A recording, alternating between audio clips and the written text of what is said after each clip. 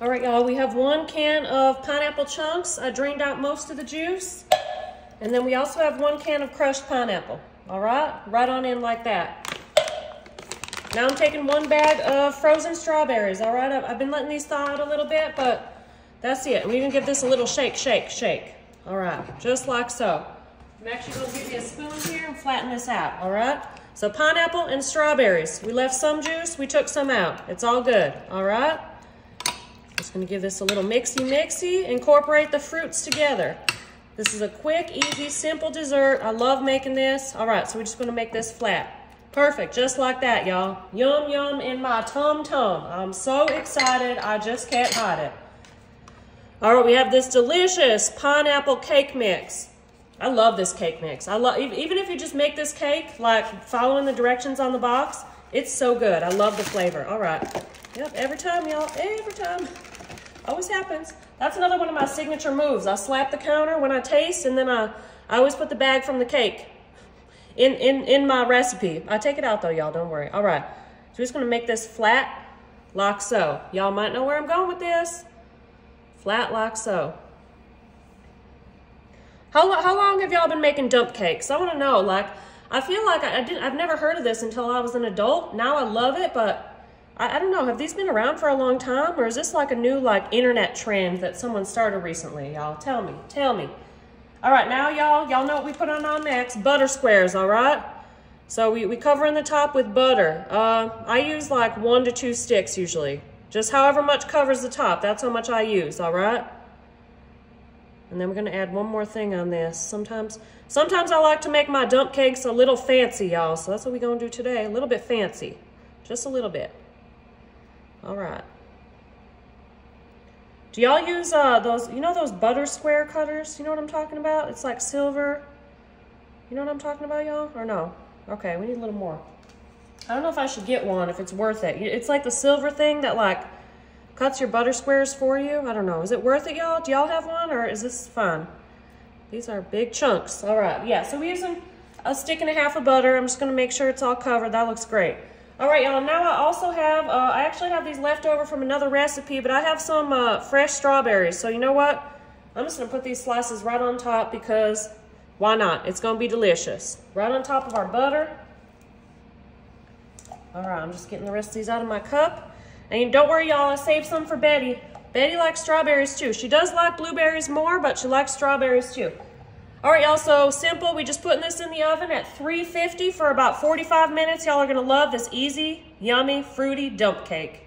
All right, y'all, here I have the pineapple strawberry dump cake. Uh, remember, we used canned pineapple, frozen strawberries, some fresh strawberries on top, pineapple cake mix, and uh, butter. All right, y'all. Oh, I'm so excited. This is gonna be so good. I'm gonna serve some up in my little bowl here. And you know what? I'm gonna put a little bit of Cool Whip on top. And uh, I'm gonna turn the camera around, y'all. And uh, we're gonna try this together. This looks so good.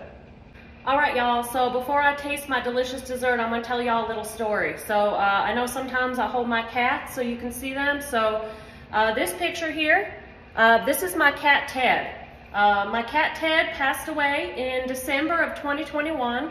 Um, and he was 16, almost 17 years old. He was my baby. He was an orange tabby cat, and uh, I loved him so much. So about a, a, few weeks after he passed away, my friends sent me this picture. They had a picture of him and had this made. Um, and they sent a card with it too, so I thought I would read that for y'all.